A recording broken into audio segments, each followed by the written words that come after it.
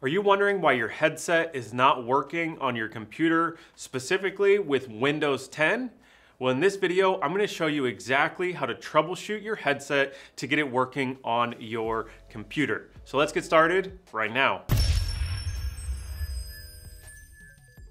For those of you that are new here, my name is David. This is the channel Headset Advisor, where we review and compare all the latest headsets, speakerphones, and webcams to help you make a better buying decision. So consider hitting that subscribe button. Now, before we get to adjusting the settings on your computer, we wanna take your headset through some basic troubleshooting steps. So if you're using a wired headset like the Discover D722U here, you want to unplug the headset from the computer and plug it back into the computer into a different USB port if you have one available.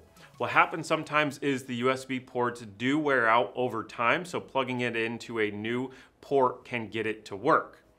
Now, if you have a wireless headset, you're going to want to do a couple of things.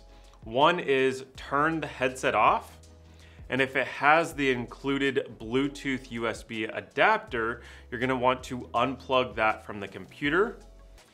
And if it has a removable battery, you're going to remove the battery from the headset at the same time. Once you've done all of that, you're gonna let it sit for about five to 10 seconds to fully power down. Then go ahead and plug the battery back into the headset, turn the headset back on, and then plug in that USB adapter if you have it.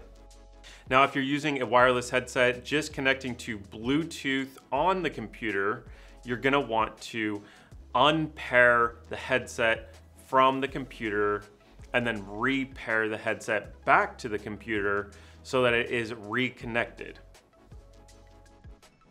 Now that we got the basics out of the way, and make sure you do those steps. I know they're super basic, super simple, but make sure you do that step first as that solves actually the majority of the headset problems we deal with. So make sure you do that. All right, so now that you have it repaired up to your computer or replugged back into your computer, you're going to go to the sound settings of your computer. And to do that, all you do is uh, type into the search sound settings. You will go ahead and click on the sound settings. Then you will see output sound and you will see input sound.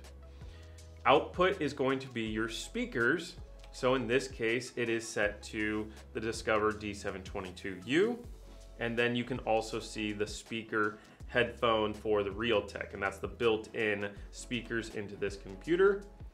And then you see the input device, which is the microphone, and you have a variety of other microphones that's built into this computer.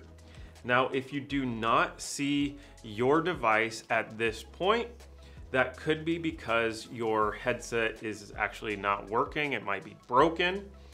But what you're gonna wanna do to double check is go to Manage uh, Sound Devices and then you will see that you have these input devices on uh, your screen.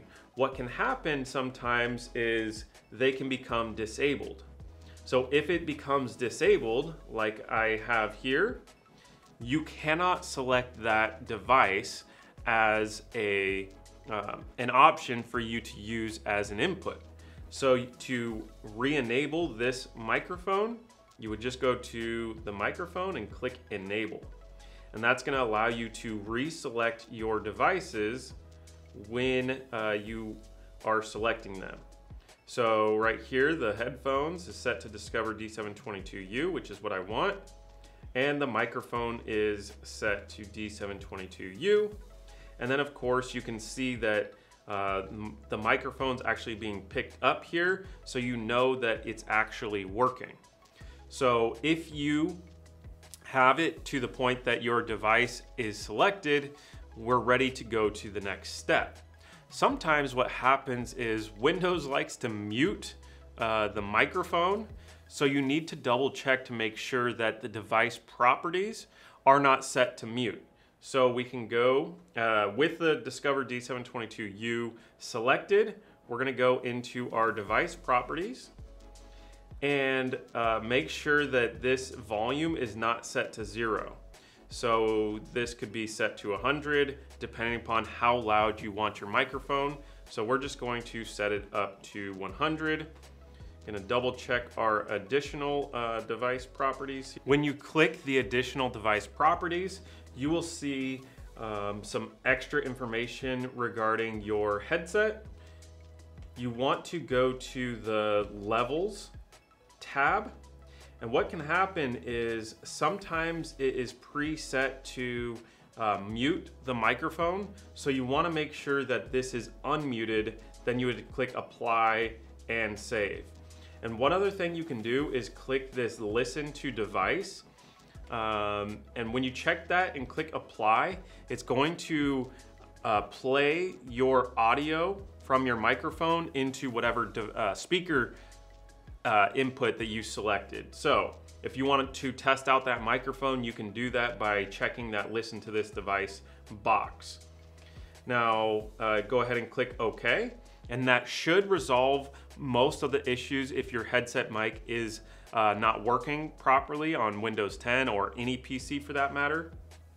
When you go to the sound uh, icon on the bottom of your screen, when you select uh, this headphone, the Discover D722U, that is not selecting your default device for your microphone. That is just for your speakers, so keep that in mind.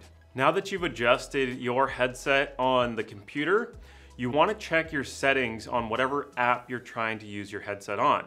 So if you're trying to do a Zoom meeting, for example, you're going to navigate to the up arrow on Zoom, go to your audio settings, and then you're going to go and make sure that your headset is selected both on the speakers and also as the microphone so that you know that your headset is actually set on this particular uh, software. Because what happens sometimes is your default device on your computer does not mean that it's your default device on the software application. So you can use a completely different uh, audio device on Zoom that you normally use on your computer. So it gets confusing which one is set to the default device. So you're gonna wanna make sure that both your sound settings on your computer is set to your headset and then also your uh, software application is set to your default device. Now, if that didn't work, we do have a support team that is ready to help even if you didn't purchase your headsets through us. Just send us an email to support at headsetadvisor.com and one of our expert technicians can help you get your headset up and working. And if it's been a while since you've purchased your headset, it might be time for a new headset. So we've actually put together an automated headset recommending tool that you can utilize on our website. Just go to headsetadvisor.com backslash quiz. Take this quick few question quiz that will make a recommendation based on your unique situation and give you the best headset for your needs. So again, check that out at headsetadvisor.com backslash quiz or check it out in the links in the description below. Well, I hope this video has been helpful to you. If not, drop us a comment. Let us know what you need and we'll make an updated video to this to answer more of your questions. Thanks a lot for watching this video. Really appreciate it and we'll see you next time.